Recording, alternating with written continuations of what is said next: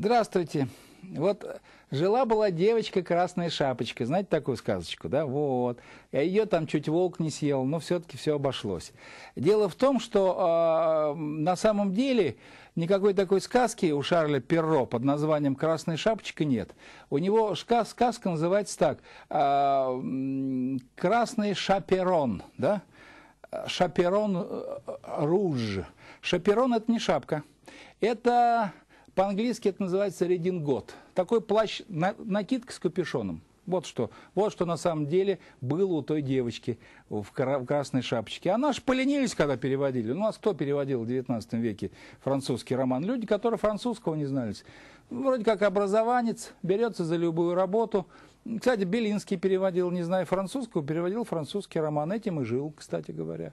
Вот, вот такая вот тяжелая была судьба у русской интеллигенции, что, не зная французского, приходилось переводить французские романы. Так и появилась у нас красная шапочка. Шаперон, похоже на шапку, они перевели. Вот. Кстати говоря, история совсем другая, чем мы привыкли. Это вообще народная европейская сказка. Сказка про красную шапочку, она почему-то есть и у, в Германии, и в Швейцарии, и в Италии, и во Франции, как народная сказка. Варьируется содержимое корзинки. Где-то она несет рыбу к бабушке, где-то головку сыра, ну, в общем, по-всякому всякому, кто, как, кто, кто что придумал. Но во всех там сюжет такой примерно, на самом деле. И у Шарля Перро он почти такой же жесткий.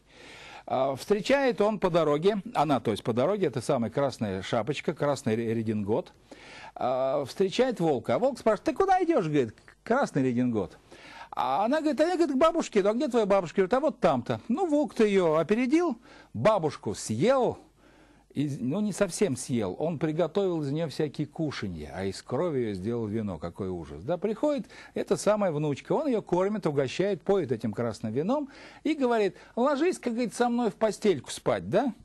Вот. Разденься, брось свою одежду в, в печку. Да? Ну, вот, ну, в общем, ведет себя как типичный растлитель, э, так сказать, маленьких детей. И, и на это сказка была рассчитана, чтобы, вот, смотри, не слушай чужих дядек. Ну, в общем-то говоря, очень такая рациональная был э, был посыл в этой сказке.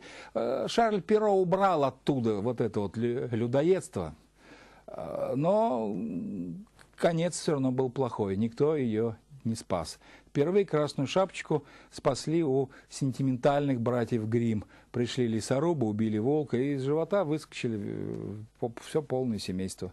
И бабушка, и внучка. Так там все обошлось. А, кстати говоря, Шарль Перро, автор, а опубликована была эта книга под э, псевдонимом. Собственно, не под псевдонимом, а от имени сына Шарля Перро.